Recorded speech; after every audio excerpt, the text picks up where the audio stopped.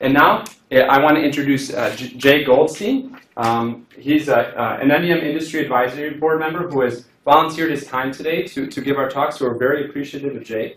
And Jay is a, a Kellogg School of Management alum and founder of Jabbok River, River Group, a Chicago-based agile training and coaching consultancy.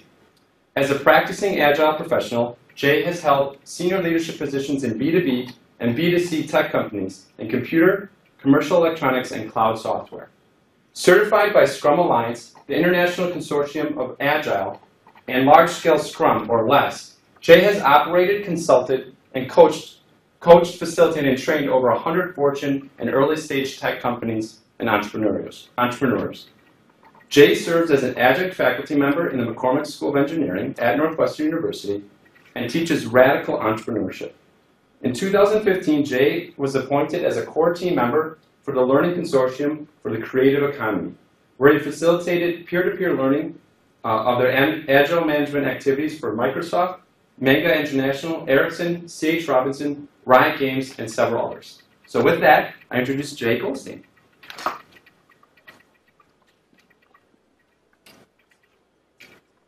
Thanks, Steve, uh, for the chance to be here and share with you today um, on what I think is a, an amazing and exciting trend in, um, in management. And so I'm going to be taking a very high view of, um, of the subject um, and, uh, and look at it um, sort of from the top down. And that's why you see this diagram here. We'll take a look at traditional management and then how those five pillars or five planks of traditional management are different for agile leadership.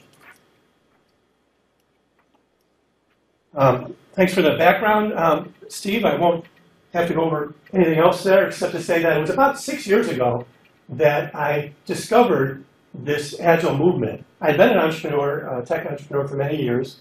I'd been mentored on um, how, how to operate in, in many ways that are similar to, I, I later learned, uh, agile principles, things like collaboration and working in iterations and customer centricity.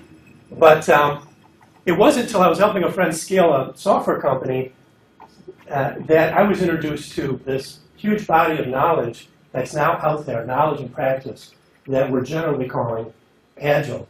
And what I found was that I didn't have to be, one doesn't have to be mentored as I was for so many years by um, entrepreneurs, by, by leaders, uh, innovators.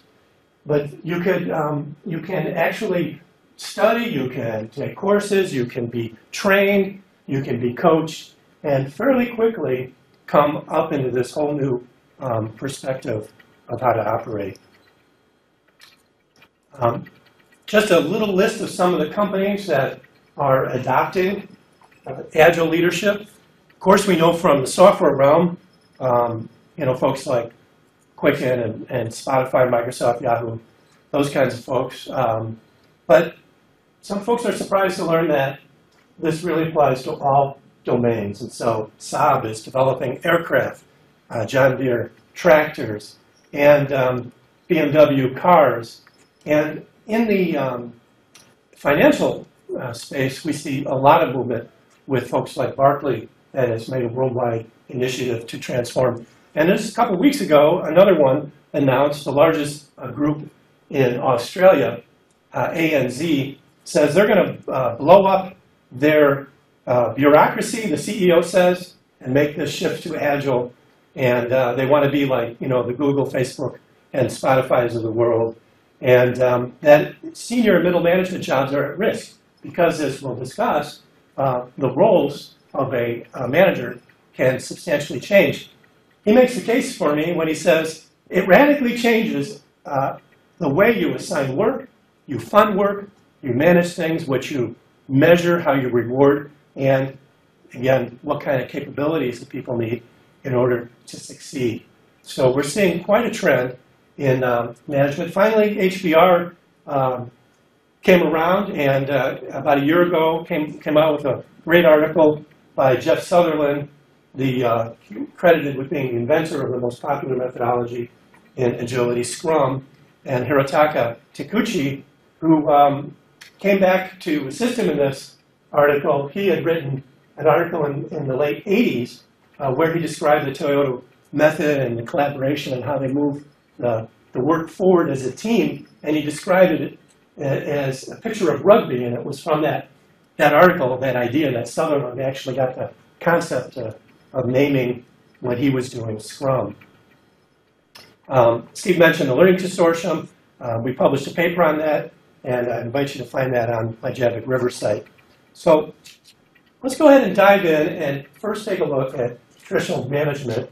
And if we had the ability to poll, I'd really like your feedback um, from those of you who have experienced traditional and agile management. And as I teach my, my course and my students have had internships and work in, in the field, it's, it's becoming more and more clear that they're in a traditional environment or they're in an agile type environment.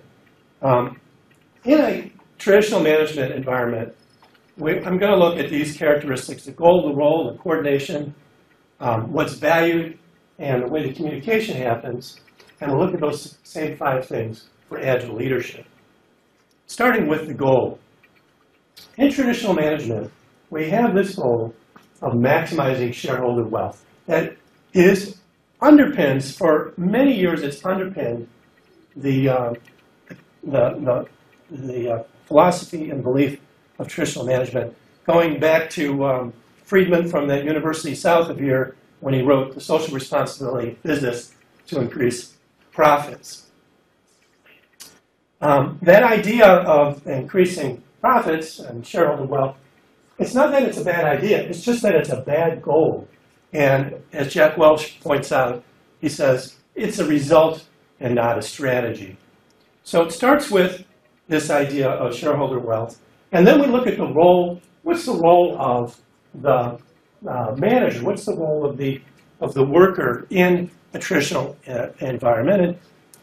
And uh, primarily, it's to execute on the plans uh, of the organization, to essentially control. And I would go far as to say that control is even necessary because making money for shareholders is actually not a very inspiring goal in and of itself. And um, so to get conformity to that goal, we look to get um, some, some control around that. So how is the uh, coordination occur? Well, it's hierarchical bureaucracy. And if I were to ask you to go to the blackboard and draw a um, design of your organization, it would probably, if you're a traditional organization, it would look like this, right? It's a typical org chart, polygons stacked on top of other polygons. And this is the geometry of traditional management. We'll compare that with Agile. The values underlying it, the, sort of the philosophy, is, is a mechanistic view of the world. You know, this was Taylorism, this was scientific management. This is a world where people are not humans, but they're resources. Customers are targets. Um, you know, the focus is to cut costs, increase efficiency, and short-term financial goals are, are really what matter. I like um, Henry Ford's perfect characteristic of that era of management. He says, why is it every time I ask for a pair of hands, they come with a brain attached? That is not the era of the knowledge worker, right? That's not the world we live in today. And yet we live in, a, with remnants of this traditional management all around us. I would say that it comes from a, a belief uh, fundamentally in scarcity. And what, um, you know, that there is a pie, and I just want my unfair share of it. I want to get as much of that of that as possible because that's all there is to go around. What Guy Kawasaki describes in Enchantment as being eaters. And the communication, naturally, is top down, it's by directive, it's typically one way. That's the overview of traditional management. And I think it's important to say this is a little uh, clip from our Learning Consortium paper that um, you know we stand on the shoulders of the benefits today of hierarchical bureaucracy. And in fact, it was a great invention uh, over you know feudalism and, and small shops and whatnot to be able to scale uh, the world, the mass market products and services that we enjoy today. But as we know, the world's going through dramatic transition, right? With globalization, with the internet, the shift in the power to the buyer. And as a result, there are some substantial downsides to traditional management that we can take a look at. For one, it's expensive. Gary Hamel, the Wall Street Journal number one uh, business thought leader, says bureaucracy costs the U.S. economy $3 trillion a year. And that chart shows how the growth in managerial employment has outstripped other employment. Maybe we need to do something with all of those MBAs we're minting. Um, I was talking with a management consulting friend the other day, and um, he had forgotten that I helped get the uh, kiosk uh, developed for Redbox when that was first getting going. And he says, well, what I help my clients do is to not get Redboxed. And I said, Redbox? I've never heard it used as a verb before, but I, I like it as a result of having been involved with it. And what we find is um, traditional management is particularly undefended uh, against uh, disruption. And, and we Redboxed Blockbuster, which is a story for another time. Uh, product life cycles have gotten very short, so you need to innovate much faster. Employees, highly disengaged. You can look at uh, Deloitte's Center for the Edge, one in five workers fully engaged. Um, Gallup estimates it costs uh, another half a trillion dollars a year about for employee disengagement. Um, and, uh, and they estimate about 15% of employees are actively disengaged, which means that while they're working for their company, they're actually sabotaging the company they're working for. And this is the kind of disengagement you can see. It's unsustainable. This is a, a chart on return on investments that fell 25%. Um, it's unsurvivable. A, uh, stock market, the life of a company in the stock market, moving from a 60-year average down to 12 years. And um, a number of folks have joined in the chorus of saying, this goal of shareholder wealth is really undermining um, our ability. Jack Welch even calling it the dumbest idea in the world. And um, Tribune reported a week ago that in 2016, 60% of CEO pay is now based on stock compensation. And so you see CEO pay, uh, which was, wasn't even uh, legal to do in the 80s, um, has grown substantially. So we have widespread systemic issues. That's a quick view of traditional management. Before I get to um, looking at agile leadership, I want to talk about what a shift we're talking about. Some would describe this as um, a Copernican revolution in management. And that we're, we're dealing with really a shift in the theory and practice of management that is so substantial it can be compared to, for example, you know, the Ptolemaic system, the old days when we thought that, that the uh, universe revolved around the earth. And when Copernican came along, completely changed everything, right? Complete paradigm shift. Well, in the same way, you can imagine in the 20th century how much easier it was for the customer to revolve around the firm right? You think about the Mad Men era, the ability to control information, to manipulate, um, you know, uh, production was, was limited. But today we have the power of the consumer, uh, what our uh, distinguished alumni Daniel Pink describes as moving from caveat emptor, let the buyer beware, to caveat uh, venditor, let the seller beware. And it's important to note, you can't do this part way. You know, we're not talking about tweaking or improving um, traditional management, like uh, Six Sigma and other types of improvements we've seen over the year that Jurgen Appelo calls uh, Management 2.0, the transition between traditional and um, agile. Um, one um, agile consulting leader, I asked him how he gets his clients, and he says that um, the first step is uh, he gets a call from an executive uh, at a company that's interested in agile transformation, and he says to them, um, no, you don't want to do that, and he hangs up on them. That's his start. And if they persist, and he has quite a few stages he will take them through, um, in their commitment, he will then work with them because it is such a complete and dramatic transition. So really moving from one sphere to another, and uh, it qualifies, I would say, for what you know Thomas Kuhn described as a classic paradigm shift, what that Copernican revolution was. And he says, though the world does not change with the change of the paradigm, afterward we work in a different world. When we have different mindset, when we have different eyes, we are working in a different world. It is a substantial shift, and it's not to be taken lightly. So let's take a look at what we're talking about. For one, and, and most importantly, the goal changes from maximizing shareholder value to delighting customers. It's not an entirely new idea. You know, the father of management, uh, um, Peter Drucker, says the only valid purpose of a firm is to create a customer. He said that in the 50s. But we're going beyond that to say not merely create, not merely satisfy, but today's goal is to delight. Delight as perceived and understood by the customer. They are the true north. They're the ultimate source of truth. And it is the only goal. And it's through that goal um, that we get these other benefits, what John, the economist John Kay calls the principle of obliquity. That um, there are certain things that you can't go for directly in life. For example, um, maximizing shareholder value or happiness. That if you make those things your goal, you generally do not get them. They are byproducts. So making customer delight the primary goal, we get these other benefits from profit and quality and satisfying all the stakeholders.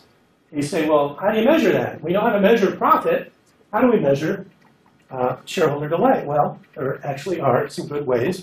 Um, one of the best, if you're not doing it, you need to be, that is Net Promoter Score, right? You've probably come out of a car dealer, you know, service center or somewhere and you've gotten an email and it asked you this question, how likely are you to recommend this product or service to a friend or colleague? It's, it's a scale from minus 100 to plus 100. It's not an easy scale. Uh, to be honest, Google, the last time I checked, had an NPS of around 15. Um, last course I took, I, I, I, take surveys. I was very fortunate. I got up to about 68. Uh, Apple iPhone, um, over 70. So you see, it's a great measure. It's tough. It's very simple, though, to get one question. There are other means, but that's a good one. And this is why you see in the lean startup and the agile field why you, you have to create these hypotheses, you develop a, a representation of the product, you get it in front of people as soon as possible, you get feedback on that, and you have these iteration cycles because the client delight is a challenge to determine. So the role of the manager, the role of the employee, moves from controlling to empowering and to enabling and more of um, to a coach. And I think um, Scrum and, and, and, some Agile practices have done a great service in, in um, helping rebuild the middle management. Middle, middle managers who were controllers have, uh, been you know, lost an inordinate amount of jobs, but folks that have come in to be these coaches, to be these servant leaders, um, have, have filled in a lot of those roles. And what are they um, empowering? What are they enabling? The secret sauce enabling self-organizing teams. And not only self-organizing teams, but cultivating high-performing self-organizing teams. Steve Denning, and uh, much of this is based on his book Radical Management, uh, he, he says, if you set up the conditions right, self-organizing teams will normally evolve into high-performing teams. So self-organizing teams can give your organization 30 to 60% more productivity. And many organizations think that's tremendous, and it is. But when you move into the realm of high-performing organizations filled with high-performing teams, we are seeing 300 to 600% types of productivity gains. There are a number of characteristics to these kinds of teams. We won't go into all of them now, but um, they're cognitively diverse, uh, they're cross-functional. They tend to be stable. It takes a long time to get high-performing teams. Ericsson um, said it's about 18 months uh, of, a, of a team performing together before they begin to typically achieve high performance. And that they're safe. Coordination, as already suggested by the teams, moves from um, hierarchical bureaucracy to coordination, uh, collaboration. So, and this is important because when you consider what kind of a problem we're dealing with, um, how is it, uh, what percentage, anybody have a guess, what percentage of consumer product goods are successful, according to the study in HBR? Now, here it is, you have the smartest Kellogg grads, you have the m- most knowledge about market research, and yet, what percent is successful? Any guesses? Five percent. Very close. Three percent. Three percent. Ninety-seven percent failure on CPG new product launches. Why? Because you're dealing with a wicked problem, they may, you may call it. Think of it like this. If this were everything you knew to be successful, in this, represented in a circle, I would suggest that the blue slice is what you know you know. It's the knowledge that you bring to it. The green slice is what you know you do not know. And you either learn that or you get an expert for it. And it's complicated, but it's not complex. It's knowable, it's a puzzle, uh, but um, the problems we're dealing with now, though, are in the rest of the realm. They're in mysteries, they're in unknown unknowns. And time and again, research and practice has shown that the way to discover um, how to solve for that, as Steve Denning says, a complex problem like, like delighting clients is best solved by a cognitively diverse group of people that's given the responsibility for solving the problem, self-organizes, and works together to solve it. And this is the learning organization. This is the key to uh, agile organizations. And the geometry is not polygons. I would suggest it's fractal. Uh, as Mandelbrot uh, described, that's self-similar patterns that we see in nature. And we see in successful companies now like Apple.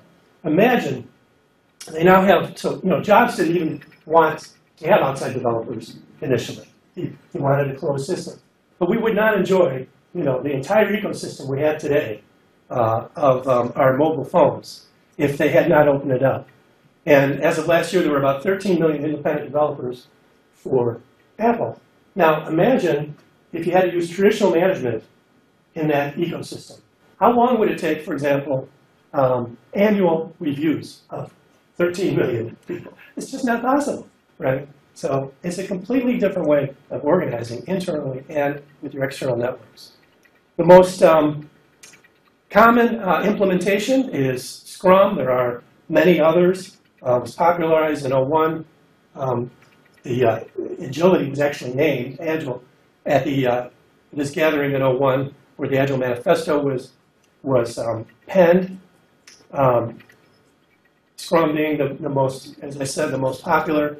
Uh, we have enough data now that uh, you can see that when uh, projects, for example, are done with agility versus a conventional approach, they are three times more likely, uh, less likely to fail. And uh, have a completely different organization rather than top down. We have this balance of power that sort of was envisioned in our own um, United States government.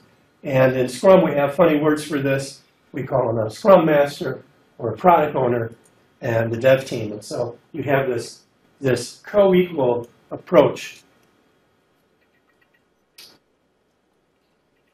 The values move from exploitative, worldview of exploitative, to those of um, abundance. And we're moving from, again, this sort of view that, uh, that, that um, Henry Ford had, um, thinking that the world is mechanistic, to understanding this complexity.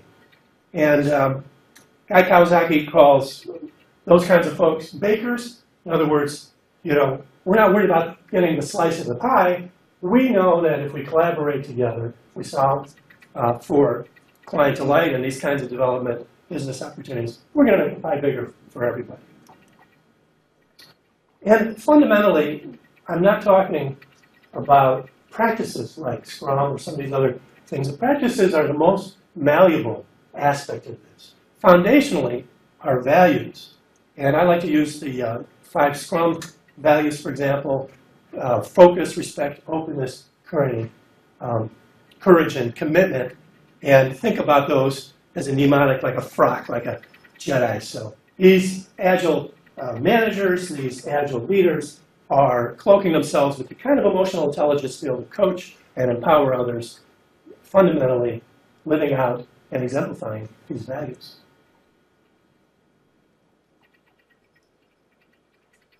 Communication is not merely top down, but it's rich.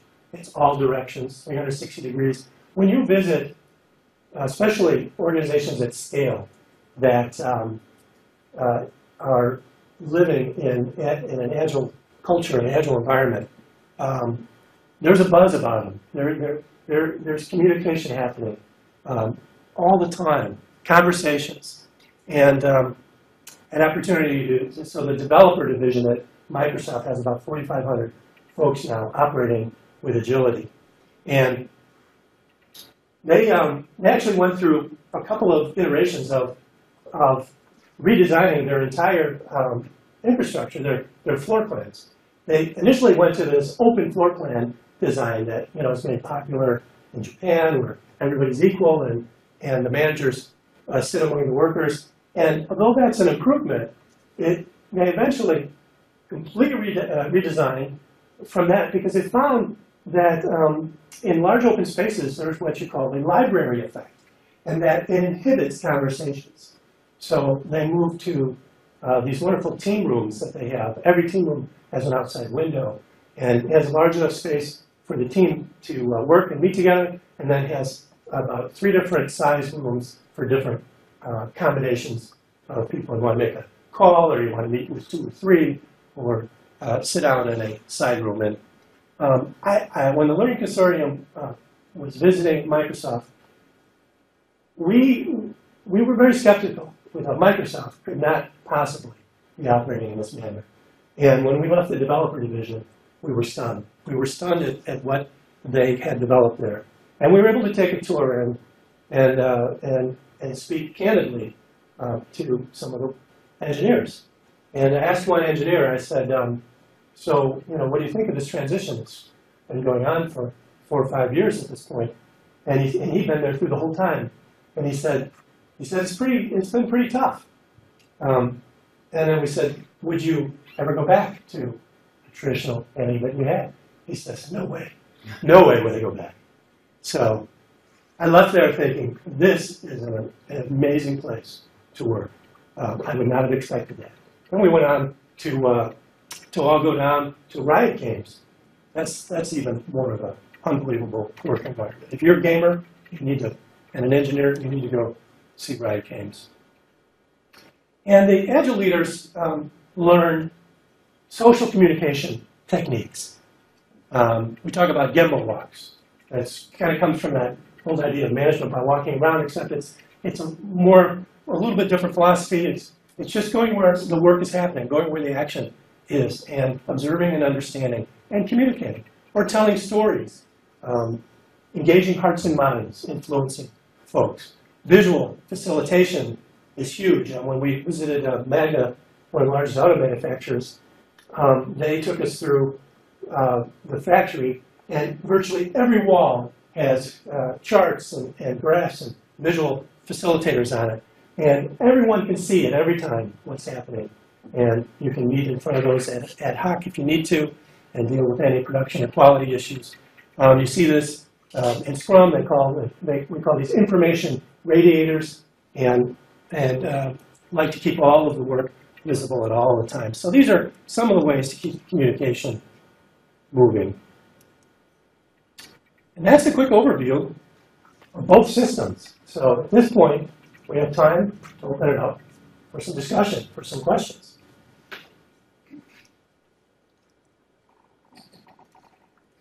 What have you been finding, Steve? He was going to ask. Um, so does agile leadership mean that it's completely a flat organization with no hierarchy? Does it mean that it's completely flat? Yeah. Yeah. Um,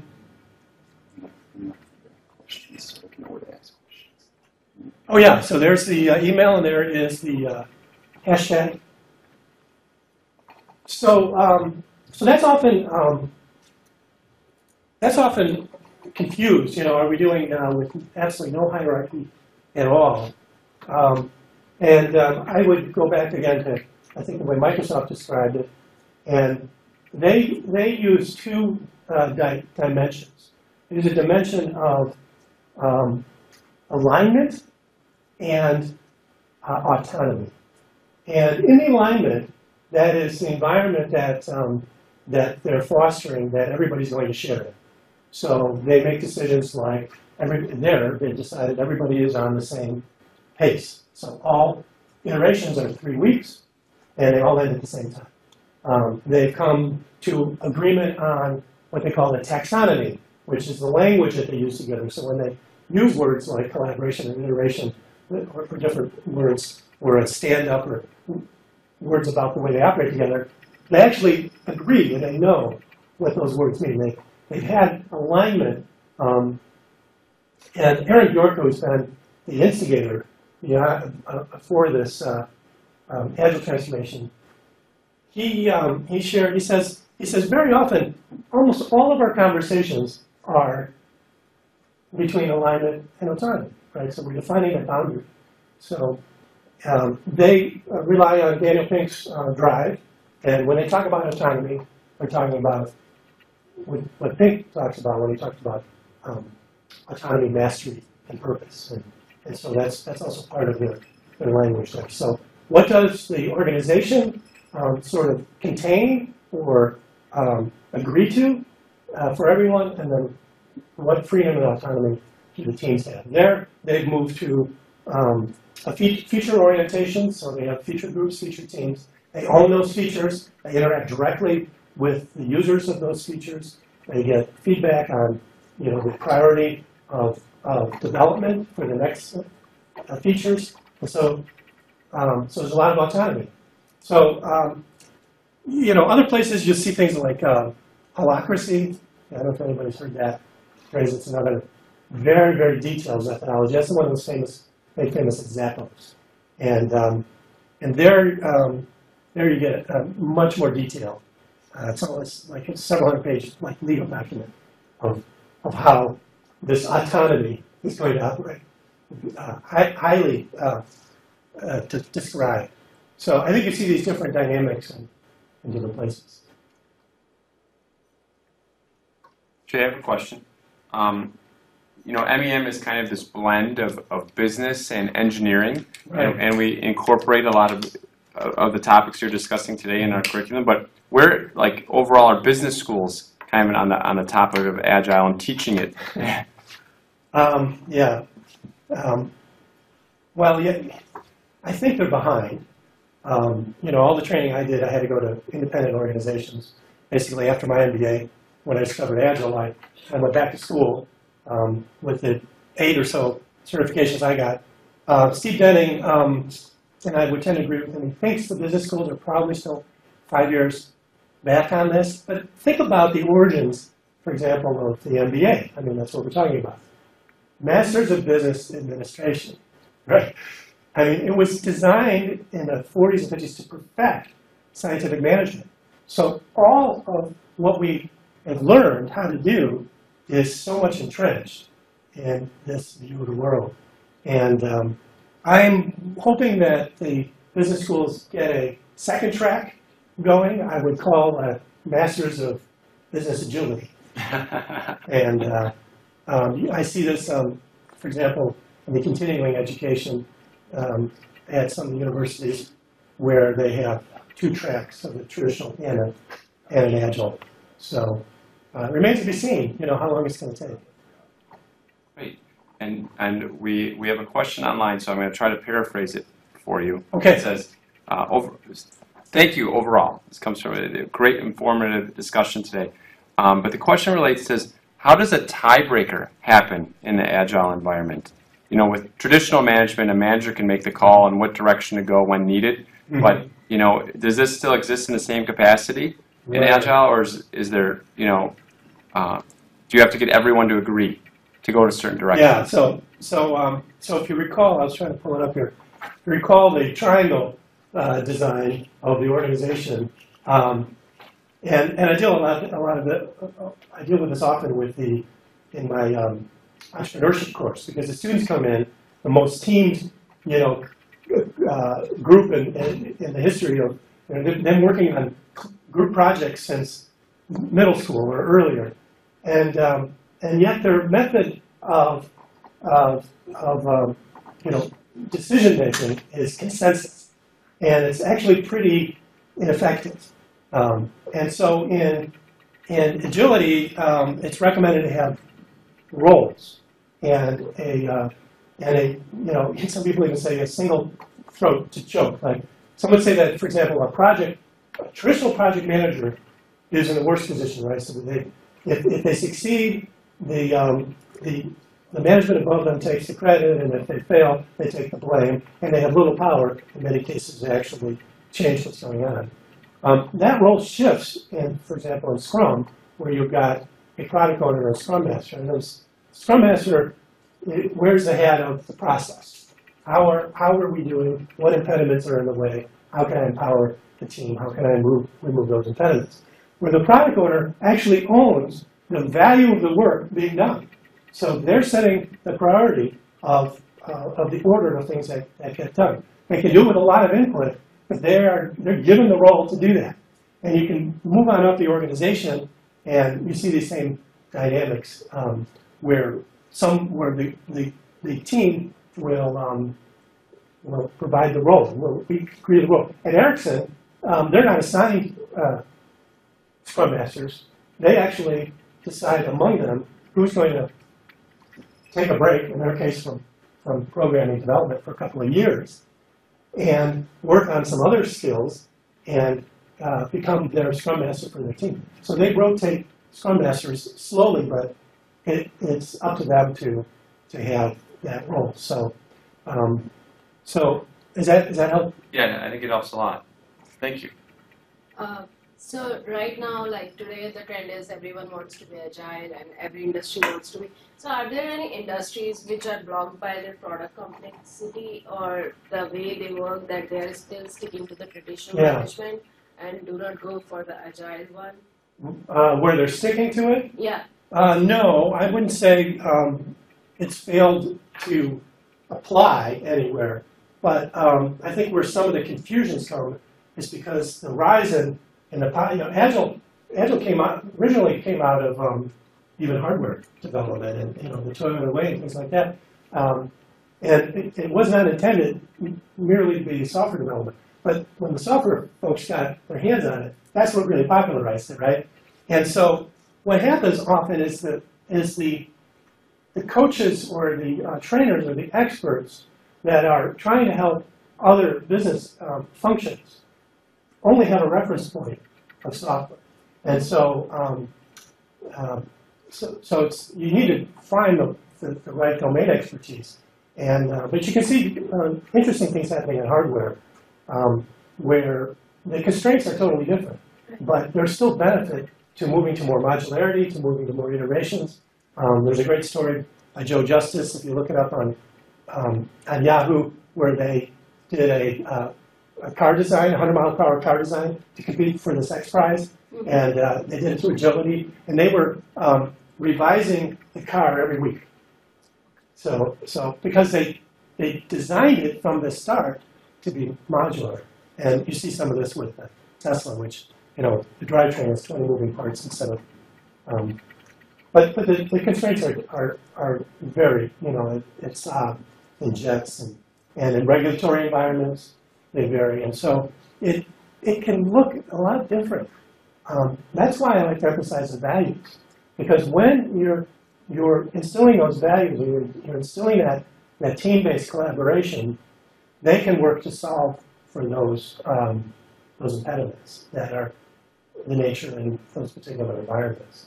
Um, some interesting things have happened in other disciplines like marketing uh, or sales, uh, for example. Um, you know, sales is typically uh, compensated by commission and individual compensation. But some companies, there's a case study, Geonetric, uh, a web uh, developer out in Cedar Rapids, that started in the software department and decided, hey, this is great, we're going to do this in every uh, function. and the sales department went from an uh, individual-based compensation to a team-based compensation, com- compensation. And all of a sudden, a number of unexpected benefits began to occur. Um, for example, one of the salespeople, they have long sales cycles with large hospital groups, and uh, um, it was primarily being run by one particular salesperson, a prospect, but um, they had their daily stand-ups, and the team talked about all of the activity going on all the time. This particular uh, employee went out on paternity leave, and wouldn't you know it, after six, eight months or something, hospital calls and says, um, now we're ready to get going. And he's not available. Another member of the team, two other members of the team, show up. They've never met before. They're astounded to see they know everything that's happening. So you have this redundancy, right? And they um, they close the deal, and the guy comes back from paternity leave, very happy. You know, the team's happy. You see other dynamics uh, where they teamed up between a more experienced person who had a lot of contacts with a less experienced who needed they needed help together, and, and so. Um, but it's experimental. I actually had to go through a number of rounds of figuring out how does this apply to a completely different domain. But the results are pretty exciting. What else we have? Um, so is Scrum the most popular approach? Um, Is Scrum the most popular? Yeah, uh, Scrum has become the most popular. Um, Scrum Alliance, which is one of the certifying groups, is now certifying about 10,000 people a month. I think they're up over a million worldwide. Um, and uh, there's others that certify. And it, no one's really researched why this is the case. I have my theory. My theory is that um, is that Scrum, and I've implemented a lot of teams with Scrum. Um, it gives you the least amount you need to get going. Know, as opposed to, for, for example, holacracy, very difficult um, at the other extreme. But Scrum is, is when, when these, all of these uh, practitioners got together at the, the 17 of them that signed the Agile Manifesto in uh, Utah in 01, they called their methods, other methods, they called them lightweight uh, management methods, lightweight project management methods. And Scrum is one of the most lightweight. And so what it does, I can describe it in eight minutes. I mean, what it does is it allows a team to get started. And if you can get started quickly, and you can get going, one of the, they call it ceremonies, one of the meetings, is a retrospective. If you can get the team started and self-improving, it almost doesn't matter where you start from, because you'll get that continuous improvement over every iteration. And so I'm not too much of a stickler um, for, you know, how perfectly a team implements Scrum initially, as long as they're getting enough benefit from the basics of it that they can get going. Uh, because it, it, can take time, you know, like I mentioned, for, for teams to uh, become high-performing teams. But getting them started is the key, and it took, um, it took Zappos quite a while to get going on holacracy. You might remember um, when they made the transition, they also um, they also asked for volunteers if anybody wasn't happy with this change. And uh, I think they lost about 16% of their workforce who decided it wasn't for them, which I think is a good result. You know, um, that people have a clear enough understanding of the difference. But it took them a couple of years compared to uh, other folks to get at Scrum, I would say quicker. Well, Jay, I think this has been great. And we, we had a one last comment in from someone online who said, um, this has been great. I, I, I, was a software developer that has moved into a project management role, and I, I see our company now trying to implement what you're discussing, and this has just been very informative. So on that note, thank you so much for Okay, our talk.